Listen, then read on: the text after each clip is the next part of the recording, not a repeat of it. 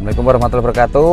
Jumpa lagi di channel Plans Creator 354 Konten kali ini Mau saya ajak jalan-jalan Untuk mengenal Pusatnya agrowisata Segala macam tanaman ada di mana? Di Pekalongan, Lampung Timur.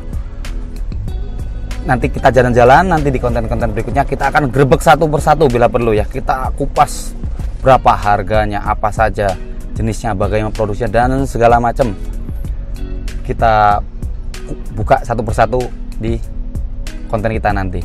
Dan saat ini kita akan memperkenalkan wilayah eh, Pekalongan Lampung Timur ini di mana saja dan apa saja yang eh, nurseri nurseri di pinggir jalan biar nanti bisa menjadi gambaran untuk para penonton sekalian sebelum mencari bibit tanaman hias ataupun tanaman buah yang diinginkan. Oke, monggo kita jalan.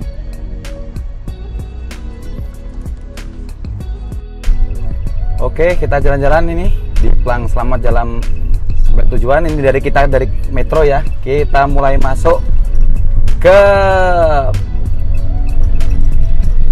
Lampung Timur, daerah Lampung Timur. Terutama kita masuk ke Pekalongan. Kalau dari Metro kita menuju Pekalongan, kita akan menjumpai Plang. Selamat datang di Lampung Timur dengan apa namanya ini Tugu Gading Gajah yang memaksa. Nanti di depan kita akan melihat uh, banyak nurseri nurseri yang bisa menjadi apa namanya ya gambaran buat teman-teman semua di sini kalau yang ingin uh, cari tanaman-tanaman segala macam tanaman ya. Soal ada di sini. Dari buah-buahan tanaman hias sayuran segala macam. Dan tidak lama dari situ di kanan kiri kita sudah ada beberapa tanaman uh, penjual tanaman. Di ada udah cahaya, cahaya bunga perkasa nih juga di kanan kiri ini.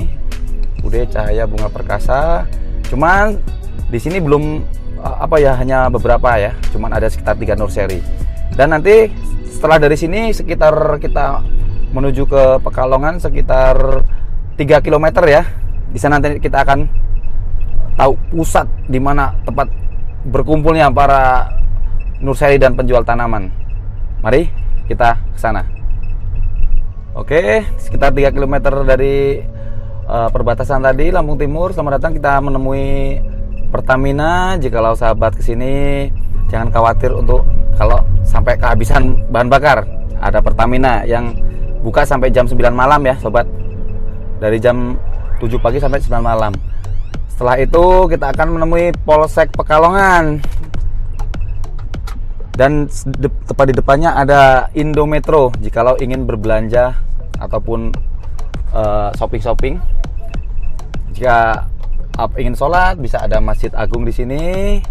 Dan setelahnya ada lapangan Pekalongan di mana di sini banyak terdapat jajanan kuliner ya ataupun buah-buahan segala macam yang mungkin pengen makan buah-buahan biar seger. Di sini banyak makanan ya karena kita menuju ke pasar Pekalongan. Yang namanya pasar segala macam ada ya. Jadi jangan khawatir kelaparan kalau udah sampai sini. Dari nasi padang, nasi biasa ataupun segala macam lah ya namanya pasar ya. Nah, di pasar Pekalongan ini cukup ramai jadi harap berhati-hati jangan terlalu ngebut banyak sering terjadi kecelakaan. Jadi harus tetap waspada. Jadi Pekalongan ini bisa dibilang ya desa bukan kota bukan tapi insya Allah sudah cukup lengkap ya untuk segala macam kebutuhan dari rumah tangga kebutuhan luar dan dalam dan macam-macam. Dan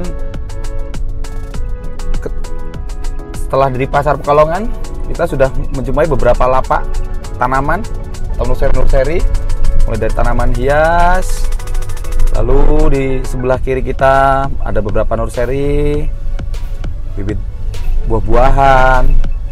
Rata-rata di sini bibit buah-buahan ya teman-teman ya dan elemen taman. Yang ingin memperindah dan mempercantik tamannya bisa cari bahannya di sini. Jual pupuk juga segala macam ya. Dan setengah kilometer dari Pasar Pekalongan kita akan menjumpai Masjid Al Mukminun yang ingin berteduh atau ingin beribadah, ingin sholat. Bisa mampir di sini dan tetap di kiri kanan kita. Lapak-lapak di sini ada penjual pot batu alam dan lain-lain. Tempatnya Mas siapa Mas? Tempatnya anaknya Bu Rin. Dan ini semua sepanjang 5 km kurang lebih Mas ya penjual tanaman semua segala macam ada tapi nanti untuk melihat harganya ataupun jenis-jenisnya nanti akan kita ulas di konten-konten dalam konten grebek atau mengulas tentang harga-harganya biar untuk referensi atau pandangan sobat-sobat sekalian yang ingin berbelanja. Jadi kalau mau berbelanja sini udah nggak kebingungan lagi. Tapi kali ini saya hanya di konten kali ini hanya mengajak jalan-jalan biar tahu semua di sini. Kanan kiri 5 km panjang 5 km dari pasar itu kanan kiri. Tanaman semua ya. Penjual tanaman semua. Dari tanam dari bibit buah-buahan bib, uh, tanaman hias elemen taman outdoor indoor segala macam. Dari mulai aglonema anthurium hanya saja masing-masing ada yang banyak menyetok tanaman buah-buahan ada yang menyetop uh, untuk elemen taman. Jadi seperti inilah kondisi 5 km dari pasar Pekalongan ke arah timur ke arah Sukadana. Sobat-sobat sekalian tinggal pilih mau berhenti di mana pasti bingung kalau yang belum pernah ke sini. Karena di sini semuanya ya karena Pekalongan ini memang pusatnya ya. Hampir dari seluruh Sumatera insya Allah ya. Semua mengambil tanamannya dari Pekalongan ini.